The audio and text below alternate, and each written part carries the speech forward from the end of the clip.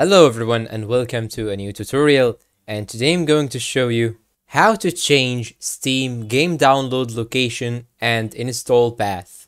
It's very simple and easy, all you have to do is to follow my steps and please before we begin don't forget to hit the like button, subscribe and turn on notifications.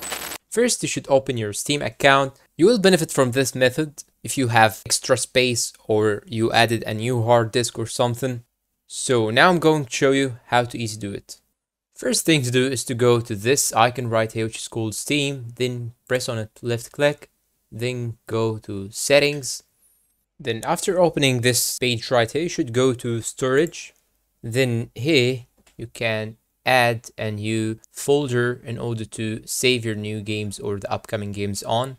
You can click on this arrow right here, then choose any one of these things that you want to add your games on or you can select another driver click on add driver then click on this arrow right here then click on let me choose another location then click on add and here you should choose the new place that you want to save your games in. Uh, for example i will i will do a new folder here for example and name it with gaming for example select this folder. That is it. You have added a new place in order to save your games. As you can see here i have place on my c drive one on my d drive and the other on the f drive.